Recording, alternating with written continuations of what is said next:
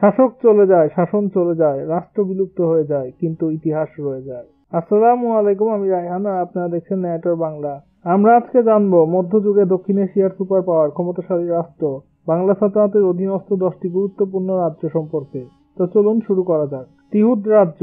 তিহুদ বাংলা সালতানাতের উত্তর অংশের অন্যতম গুরুত্বপূর্ণ রাজ্য ছিল। বাংলা সালতানাতের প্রতিষ্ঠাতা এবং অখণ্ড বাংলা সালতানাতের প্রথম সুলতান হাজি শামসুদ্দিন ইলিয়াস শাহ তিহুদ জয় করেছিলেন। তিহুদ রাজ্যের হিন্দু রাজারা বাংলার সুলতান কর্তৃক নিযুক্ত হতেন। একই সঙ্গে অনেক ক্ষেত্রে আমির পদমর্যাদার ব্যক্তিদেরকে প্রশাসক হিসেবে নিযুক্ত করা হতো।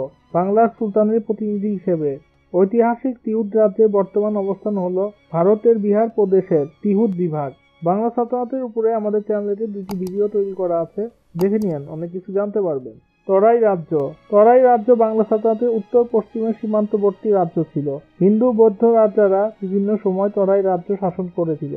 তরাই রাজ্য জলাভূমি, তৃণভূমি অরণ্য বেষ্টিত একটি দুর্গম পার্বত্য অঞ্চল ছিল, যা বাংলা সালতানাতের অংশ ছিল। তরাই রাজ্যের বর্তমান অবস্থান নেপালের হিমালয়ের পাদদেশের পশ্চিম পূর্ব অঞ্চল।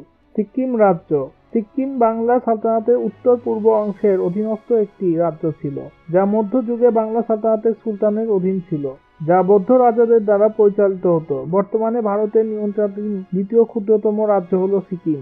প্রতাপগড় রাজ্য। প্রতাপগড় রাজ্য বাংলা সালতানাতের উত্তর পূর্ব অংশের পার্বত্য অরণ্য বেষ্টিত অঞ্চলের একটি শক্তিশালী রাজ্য ছিল।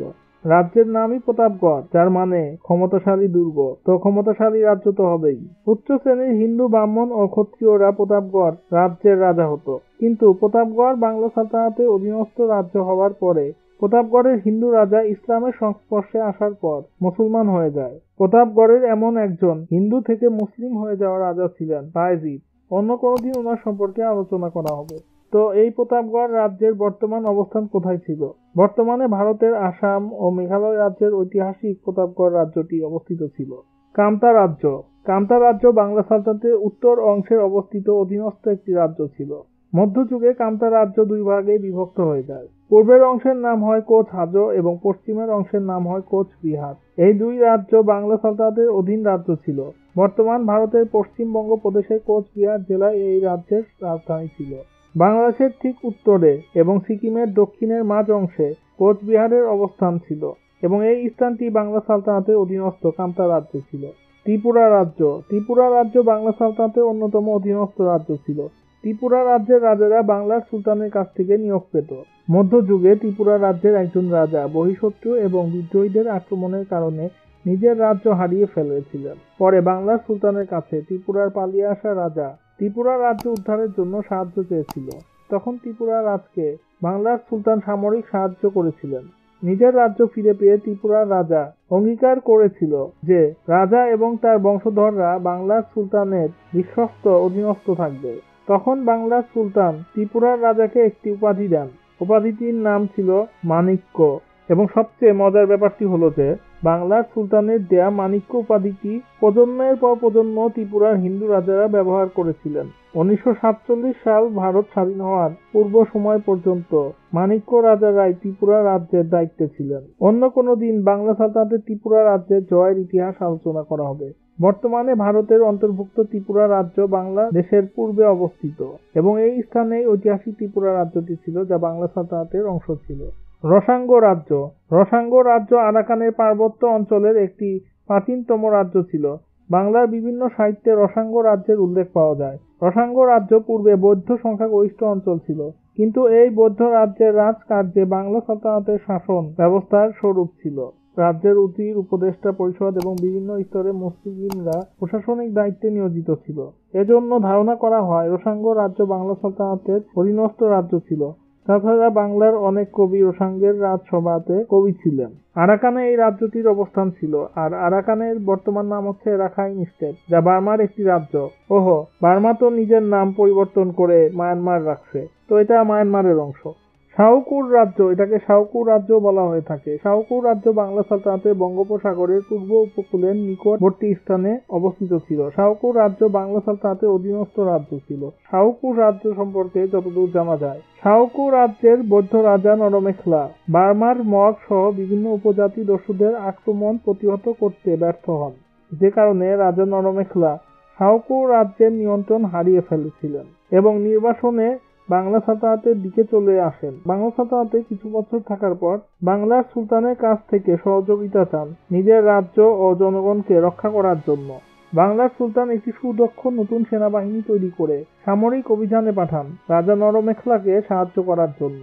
রাজা নরমেখলা বাংলা সালতানাতের বীর মুসলিম সেনাবাহিনীর সাহায্য পেয়ে নিজের সাউকু রাজ্য পুনরুদ্ধার করতে সক্ষম হন। পরবর্তীতে বাংলার মুসলিম সেনাবাহিনী এবং সাউকু রাজ্যের সম্মিলিত বাহিনী একাধিক সামরিক অভিযানের মাধ্যমে বার্মার মগ সহ বিভিন্ন উপজাতীয় দস্যুদের দমন করে এবং চোদ্দশো সালের মধ্যে প্রায় সমগ্র আরাকান জয় করে ফেলেছিল। চোদ্দশো সালে শাহকু রাজ্যের রাজা নরমেকলা শাহকুকে নবগঠিত আরাকান রাজ্যের রাজধানী এবং আরাকানে বাংলা সালতানাতের সার্বভৌমত্বকে স্বীকৃতি দিয়েছিল। ওই সময় থেকে আরাকান তেরোশো পনেরো সাল পর্যন্ত প্রায় এক শতাব্দী বাংলা সালতানাতের অবিচ্ছেদ্য অংশ হিসাবে ছিল। বাংলা সালতানাতের অধীনস্থ আরাকান রাজ্যটি বর্তমানে মায়ানমারের রাখাইন স্টেট পরবর্তীতে কোনো ভিডিওতে আরাকান রাজ্য সম্পর্কে বিস্তারিত আলোচনা করা হবে। চন্দ্রদ্বীপ রাজ্য। চন্দ্রদ্বীপ রাজ্য বাংলা সালতানাতের অধীনস্থ রাজ্য ছিল। চন্দ্রদ্বীপ একটি হিন্দু সংখ্যাগরিষ্ঠ অঞ্চল ছিল। হিন্দু উচ্চ ক্ষত্রিয় শ্রেণির দেব বংশের সামন্ত রাজারা চন্দ্রদ্বীপ অঞ্চলটি শাসন করতেন। এখন সামন্ত রাজা মানে আবার কি? রাজার অধীনস্থ রাজাকে সামন্ত রাজা বলা হয়। পূর্বে চন্দ্রদ্বীপ সোনারগাঁ সালতানাতের অধীনস্থ একটি রাজ্য ছিল। পরবর্তীতে সুলতান ইলিয়াস শাহ সোনারগাঁ সালতানাত জয় করে বাংলা সালতানাত প্রতিষ্ঠা করেছিলেন। তখন চন্দ্রদ্বীপ বাংলা সালতানাতের অধীনস্থ হয়। চন্দ্রদ্বীপ রাজ্যের বর্তমান নাম হলো বাংলাদেশের বরিশাল বিভাগ। সোনারগাঁ সালতানাত সম্পর্কে আমাদের চ্যানেলেতে দুটি ভিডিও তৈরি করা আছে, দেখে নিন। অনেক কিছু জানতে পারবেন। মল্লভূম রাজ্য। মল্লভূম বাংলা সালতানাতের অধীনস্থ দক্ষিণে অরণ্য বেষ্টিত একটি ক্ষুদ্রতম রাজ্য ছিল। এই রাজ্যটি হিন্দু উচ্চ ক্ষত্রিয় শ্রেণির মল্লব বংশ প্রতিষ্ঠা করেছিল। গহীন অরণ্যে ঘিরে থাকার কারণে খুব বেশি মানুষ এই রাজ্যটি সম্পর্কে অতীতে জানত না। ওই সময় সুন্দরবনের প্রাচীন অংশের মধ্যে রাজ্যটি অবস্থিত ছিল। বর্তমান অবস্থান ভারতের পশ্চিমবঙ্গ প্রদেশের বাঁকুড়া জেলার স্থানেতে। এ সকল রাজ্য বাংলা সালতানাতের অধীনস্থ কর প্রদানকারী রাজ্য ছিল।